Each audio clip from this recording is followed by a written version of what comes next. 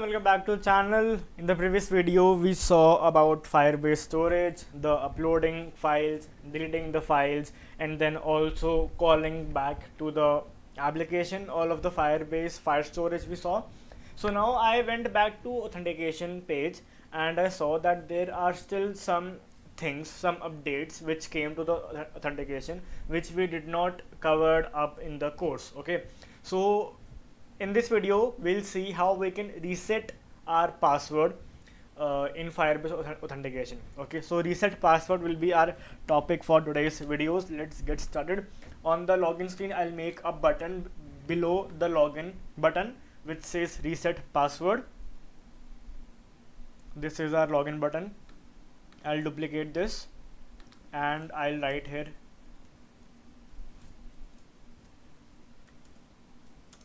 reset password and the function will not be what it is. It will be a navigator push function okay? We remove this and we add navigator here. And it will take us to the screen of reset password which does not exist yet. So we'll go to our lib right click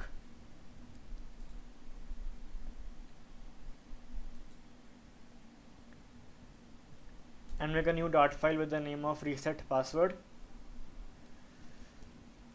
Reset underscore pass. Then we'll import material and then we will create a stateful widget with the name of reset password. So now in the login screen we can import the file and our screen has been created okay? So that was the thing for login screen okay? So here now you can see that we have our button for reset password. We'll click that. And this is a black screen because we haven't done anything yet. So now firstly we will need three variables. And one of those will be form key then the controller and then uh and then a string variable okay? So I add the code for three variables the form key which will be the global form key and then the controller text editing controller for email field and then a variable with the name of email which will store our email okay? So next thing we want to do is uh, dispose our controller. That will do. Super dot dispose okay?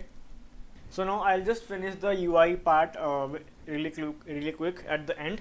And right now we will just write the function okay? Because that's the main thing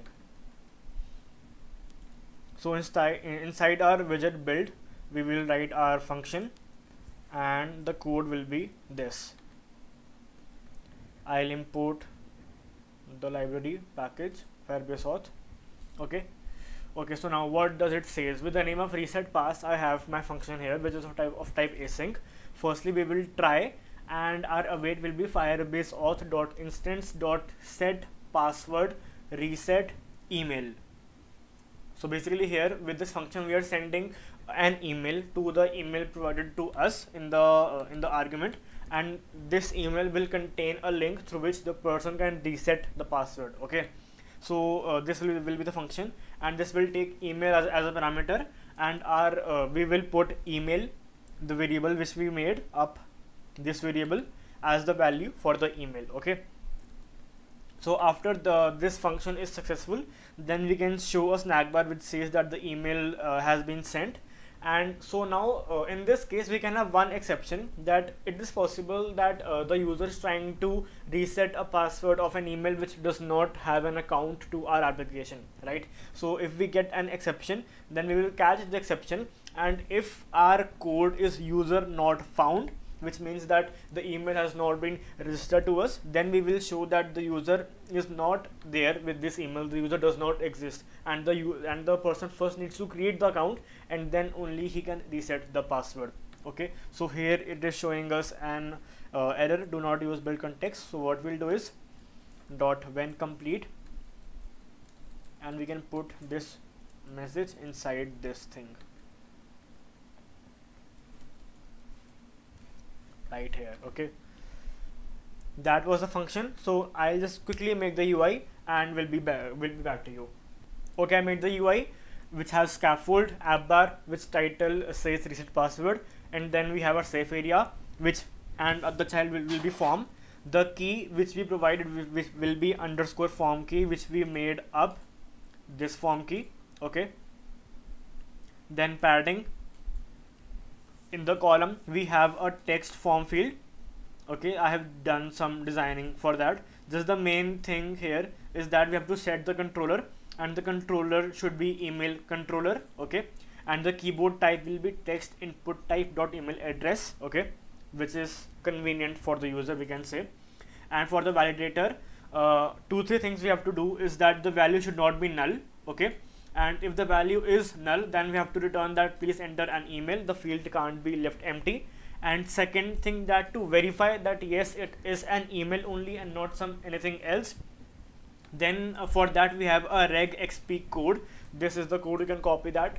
And if the value in the text editing controller has a match then only we can uh, allow the user to send the email and if it does not has a match it means that it is not a valid variable and we will return that please enter a valid email. If though if both of these are satisfied then we will return simply null okay? And then with the size box of height 20 I have my text button which says send email. And on press firstly we validate our form. So underscore form key dot current state null check dot validate. So if it is validated then we will set our state and our email variable will be equal to email controller dot text we are assigning the value to our late variable email and then we call the function of reset password. When we call this function of reset password this thing will happen which I explained earlier and the email will be sent. Okay? So now firstly I'll create an account. I'll sign up. Email will be let's say uh, I have to put a put a valid email right and password for now I'm setting it to be 1234567 the most basic and easy password and I'll log in. Okay so my account has been created here. I'll try logging in. Let's see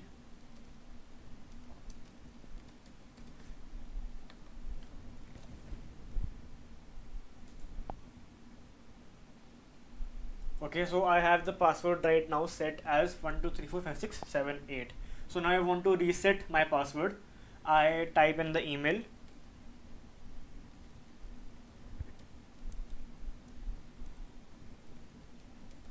This is my email and then I will click on the button send email. So it says email has been sent. Okay so now I need to check my browser. Let's see.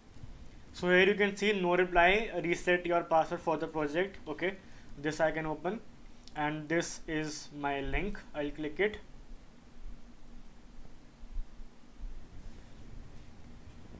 It will open up right here. So I can set my new password for this right now. So I'll pa my password will be PASWORD password itself. Password you can see here and I'll save it. Okay so now the password has been changed. Let's let us go back. So now here I'll go back to the screen and in the email I'll try to log in the name with the same email. And password I'll put here will be PASSWORD and I'll log in. So signed in here you can see that yes my password has been changed and this is how we can do it with our uh, firebase authentication. And also if you see the, the documentation you can also customize the template which I got here okay? So basically uh, if you want to add your own template to reset the password then you can do that also by entering into the firebase console okay? That is also a service by firebase. Yeah so that's it for the video. Uh, quite a simple task not much of a big deal just one simple function okay? And a purpose was solved. So that's it for this video uh, thank you for watching till the end if you're still there. And if you have not subscribed yet then please subscribe the channel because all of the updates are here. And also press that like button. If you have any errors then please put them in the comments below. I will try my best to answer them. And if you want a video on, on specific topic then I'll make that also. Thank you so much and I'll see you guys in the next one Sometimes I struggle in this place. Been in circles several days. Never knowing